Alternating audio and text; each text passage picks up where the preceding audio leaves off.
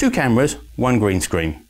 Panasonic GH4, Blackmagic Cinema camera. But which one of these two is going to be the best when it comes to chroma key work?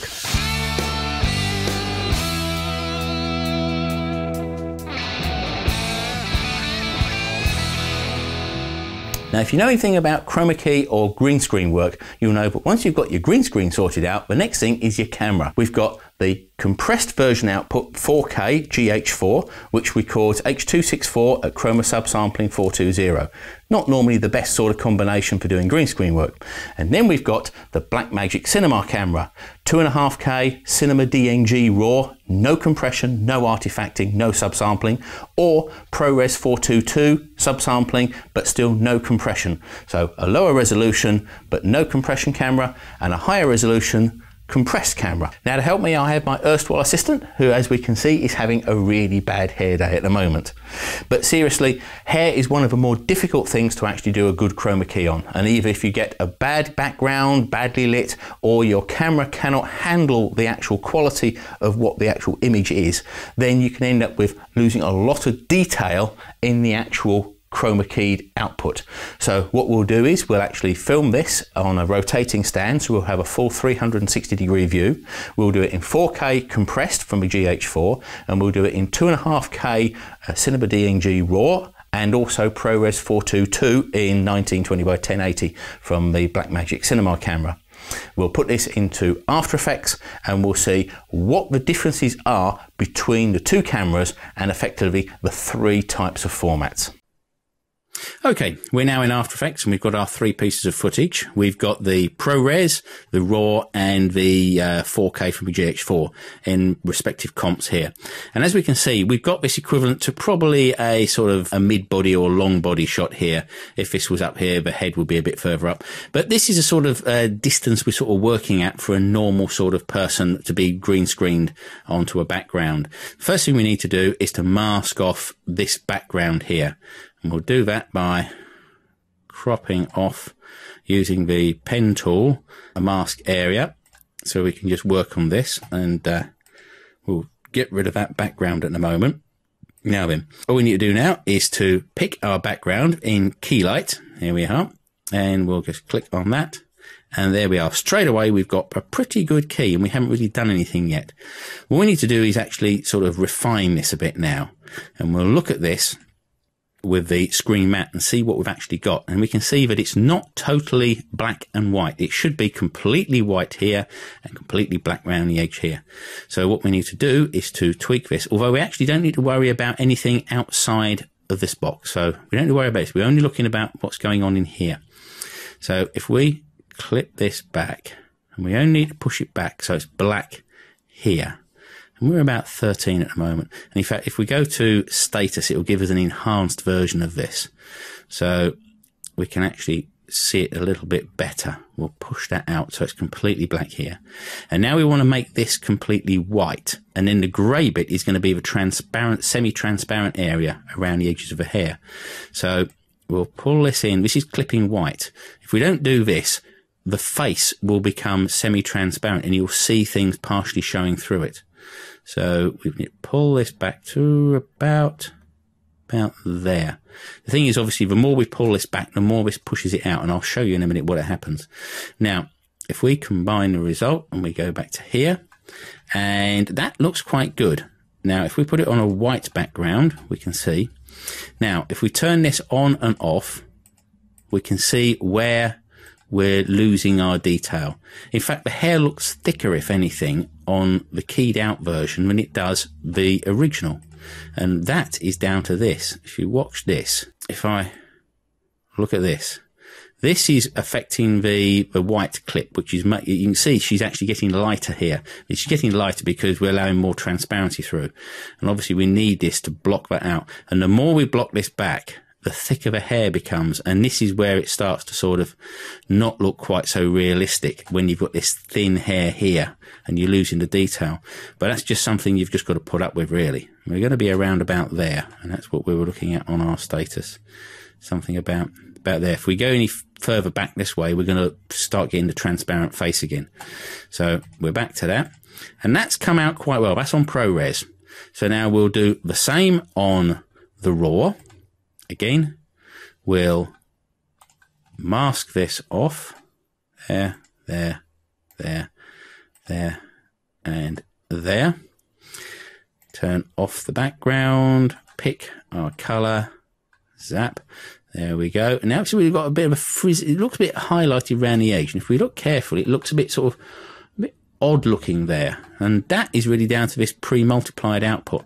And what it's doing is where the semi-transparent part is now, it's multiplying the color of the, or the brightness of the pixels right on the edge with the alpha. So they are now darker as the alpha gets more transparent.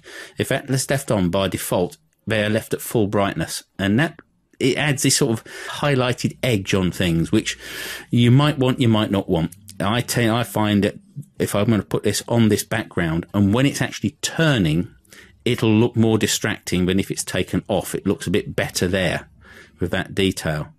And as you can see, that's looking quite good. In fact, on here, I've also got a simple choker. And what that's doing is you'll see it's pulling it in slightly more as well. So it's getting rid of some of that little frizzy effect. It can start to look a bit sort of sizzly uh, as the thing's turning around, and you don't see it until you're actually looking at it in motion.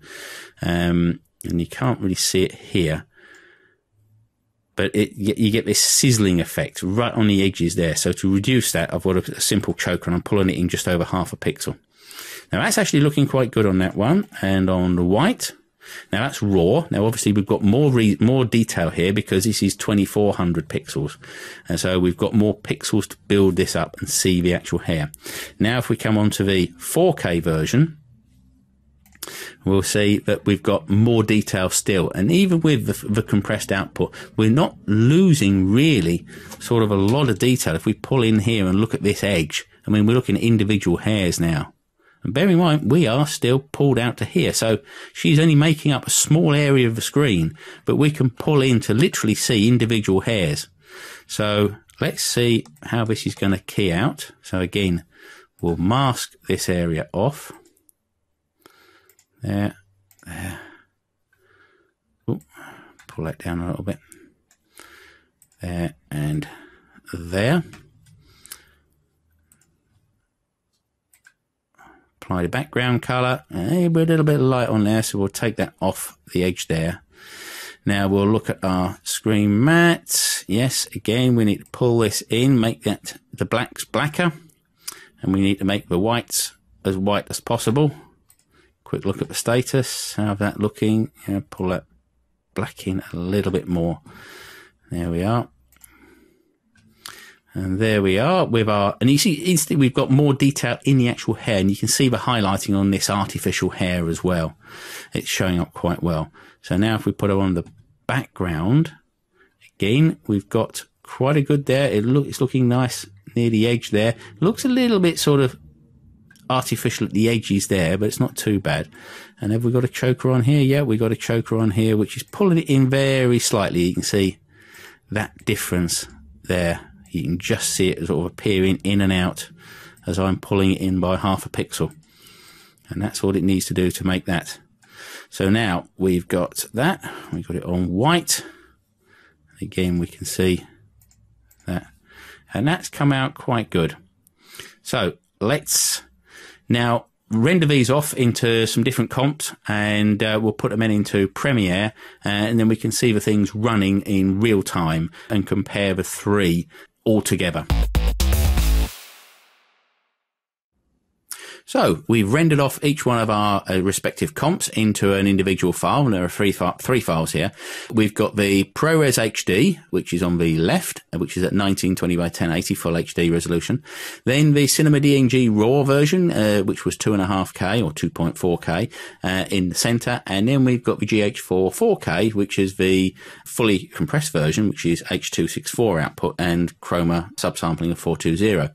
So this is actually the worst sort of compression version. And these, the one in the center would be the best because there is no compression at all. And obviously then there's just for subsampling on the ProRes HD. But actually, if we look at this instantly or straight away, we can see that the ProRes has actually come out really rather well, actually. There's some nice detailing in the hair here and around the edge. It's not quite as detailed in the face and in the hair as it is in then obviously the 2.5K. But when we look at the 4K, you can see there is a lot more detail in the face. The eyes look clearer, the mouth. And then you've got the hairs here. And if we actually move this around, which we can do here, if we look at this uh, sort of curl of hair here, this one, um, and you watch as it turns, and then look at the same in the other one here. This is the center. It doesn't sort of shine as much. And then obviously the ProRes, again, it looks quite sort of dull in comparison. This one has definitely a more of a shine to it. And it sort of with the rest of the hair, it picks up these little shining details more. Now this is because we've, we've got more pixels at work in here. Obviously these are all scaled down from their respective sizes to full HD, but obviously the source material was higher resolution, so the end results are going to look slightly better, even if they are still the same resolution. So we can see that the ProRes is the lowest sort of resolution of all of them, but it's actually got still quite a good edge detail. And this is the edge deal, which detail, which we're really sort of interested in when we're doing chroma key. So that's done very well there. The Cinema DNG Raw again has done it, but I notice on this, if we sort of run it and let it go, it does have a slightly sizzly effect around the edge, which I was talking about before, as you can see there. It's it's I think where we um, it's keying and then losing the key in and out and in and out slightly. So it gives this sort of sizzling effect as if it's there and then not there and there and not there. And then on the actual 4K around the edge, it's a really rather smooth finish. There isn't really a lot of sizzling going on. It's nice and sort of semi-transparent around the edge. It's not quite as defined or definite as the um, ProRes version, but the very fine details here have got a little bit sort of mushy in there, and I don't know if that's the actual compression working on the very fine detail, but we are scaled down here. And I say we've got choker uh, on the actual alpha here, which pulls in the alpha all the way around and sort of takes off some of this fine detail on all of them. So we could have actually sort of brought that out and left it in there. But I think then we end up with this more of this sizzling effect and you get into very fine edges uh, as we do with here. So I think probably it's best to sort of pull this in a little bit. If you don't know what the original would look like, you'd say, yes, they look very good. Because we know what the originals look like, you can say, yes, well, I can see where it's been pulled in a little bit and it's not quite as it should be there. But so if we now look at it on a different background and we look at this as a, a studio background, now because you've got this darker background, it looks sort of very well integrated into this background. So I would say that we've got a pretty good key on all of these. And really then it's down to the detail that we're carrying over in the actual image itself. And really the 4K does show this up as, as the best.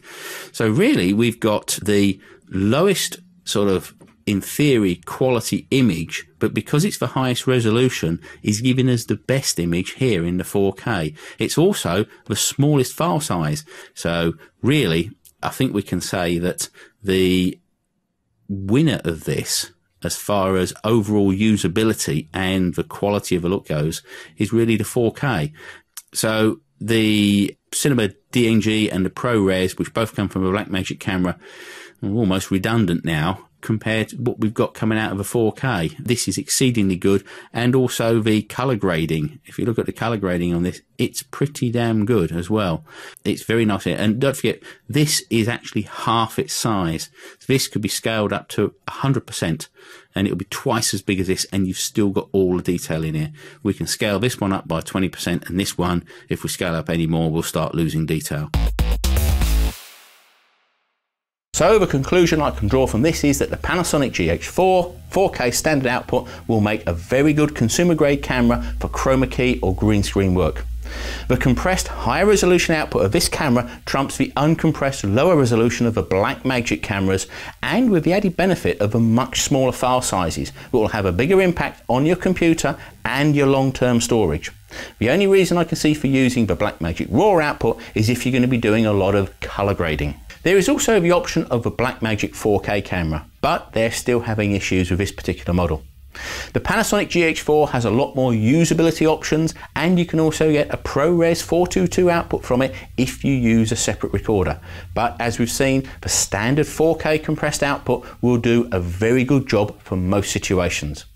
I hope that you found this video useful and if you did then please give it a thumbs up and subscribe to our Video Alchemy channel and share it with someone who you think might benefit from it. Don't forget to hop on over to video-alchemy.com and join our newsletter too. My name's Paul Shillito and this has been a Video Alchemy production, so until the next time, bye!